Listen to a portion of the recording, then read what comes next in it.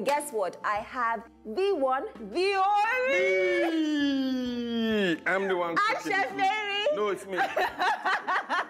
Well, he's not cooking the food. Basket, so good to see Yeah, I you. came Wait, before before you we do, me. before we do any, come, come, come and sanitize your hand first.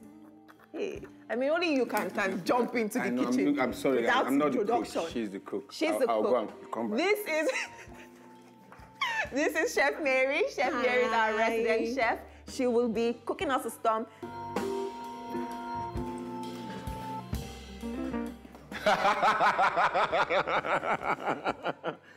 What? Oh, you have money, oh.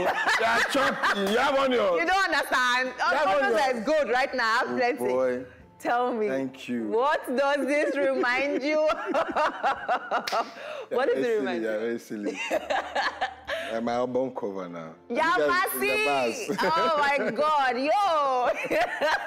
what came through your mind when you came up with this with this concept? Okay.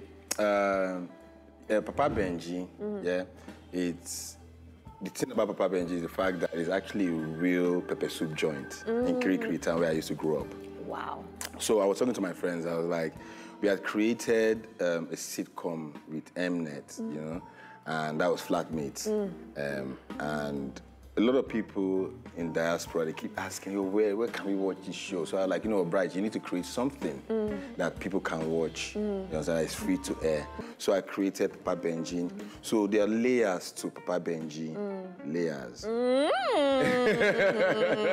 Wisdom, wisdom, wisdom. So that was how it started. So Papa Benji first a real pepper soup joint. Papa Benji learning how to cook pepper soup with his uh, from his dad was me learning how to cook from my mom. So I picked up the different pieces, yeah. So I didn't want to make the same type of hip hop music that this guy, because he's American. So I was like, let's make our own type of hip hop. Let's bring the normal hip hop and blend it with Afro beat, like Fela kind of sound. So we did that. So we did a show in Uniben, and the they booed us. Eh? So I, I sampled that everybody run, run, run, da, and I did it on hip hop. Right. So it was strange to them. They were like, "What is?" What's going on? So that that data, they was they now changed it to "Get out." No way. And I got so upset on stage because I, I knew how hard I worked to make that stuff, and I was the one that convinced the group that we should do it. So I kind of like feel I bad. felt bad. So I You told them. finish your performance, though. Yes, but not as a rapper, as a comedian now. so when they were dissing us, and I now told the DJ to stop the beat, the, the beat, and I told my guys to excuse me. Mm-hmm. And I said, okay, who are the people insulting us? I said, insulting everybody. And I used to be the, like the king of wording back then, you know, heckling and I was dissing. It was myself. It was myself and the crowd. Like so, I was hitting everybody hard, you know. Mm. And that lasted for about. The promoter of the show left me. So when I was done, I was satisfied.